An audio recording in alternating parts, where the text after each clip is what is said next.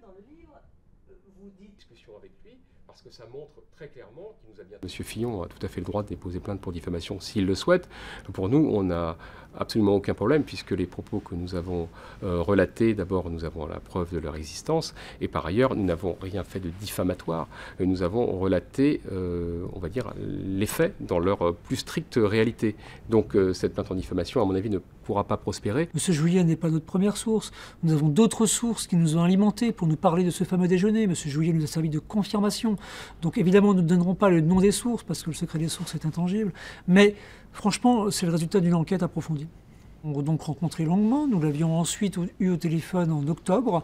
Euh, et donc, à ces deux reprises, je nous avais dit pas de problème, vous pouvez parfaitement utiliser ce que je vous dis. Euh, c'est une conversation officielle que nous avons.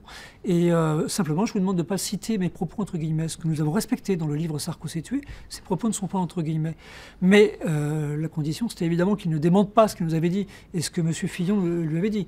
en l'occurrence, en disant ça, en démontant en bloc, il portait atteinte à notre crédibilité professionnelle. C'est donc pour cela que nous avons choisi, dans le monde, de, de décrypter ces propos pour que les gens comprennent bien que nous n'avons absolument rien inventé, au contraire. François Fillon, au cours de ce déjeuner, a passé son temps, on va dire, à dire euh, tout le mal qu'il pensait de Nicolas Sarkozy à Jean-Pierre Jouyet, mais surtout, euh, l'objet de sa démarche euh, portait sur un point précis, c'était de savoir s'il était possible pour l'Élysée, de François Hollande, de faire pression sur la justice afin d'accélérer le cours des procédures judiciaires qui menacent son rival et ennemi Nicolas Sarkozy. Et ensuite, il est plus explicite en disant à Jean-Pierre Jouyet, qui se souvient très bien des termes, il nous l'a dit, il nous l'a répété, qui dit tapez vite, tapez vite. Euh, il ajoute même agissez, ce qui veut dire euh, agissez auprès de la justice, faites pression pour accélérer les procédures.